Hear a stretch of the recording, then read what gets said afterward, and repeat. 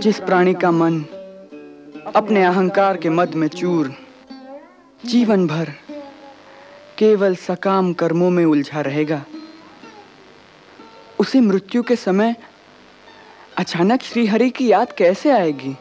तुमने ठीक ही कहा।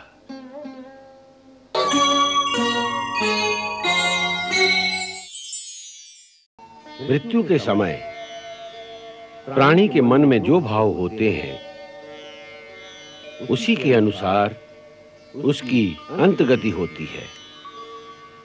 सो यदि मरने के समय प्राणी के मन में संपत्ति, घर-बार या सगे संबंधियों के साथ मोह ममता के भाव प्रबल होंगे तो उन्हीं इच्छाओं के अनुसार नया जन्म होगा।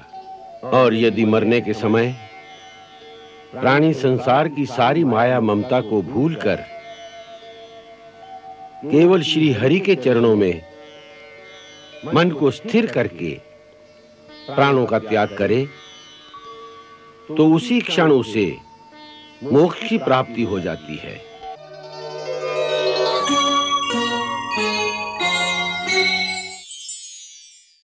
हिरण्यकश्यप को ब्रह्मा जी के वरदान से जो दुर्लभ शक्ति प्राप्त हुई, उसका उपयोग यदि वह सात्विक और धार्मिक कार्यों के लिए करता तो सारे ब्रह्मांड में स्वयं भगवान को छोड़कर उनसे महान और कोई नहीं होता।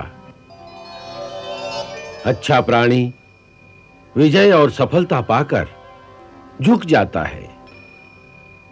परंतु नीच प्राणी सफलता के मद में पागल हो जाता है।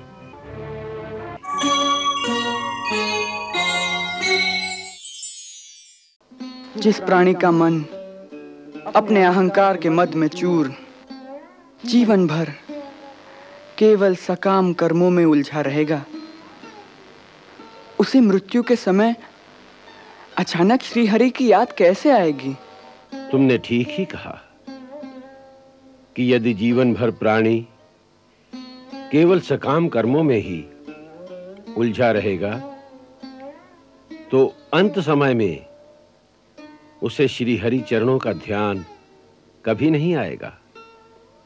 इसलिए यह आवश्यक है कि मनुष्य सारा जीवन अपनी दिनचर्या में नित्य प्रति थोड़ी देर के लिए बाकी सब कामों को भूलकर केवल श्री हरि का स्मरण करें।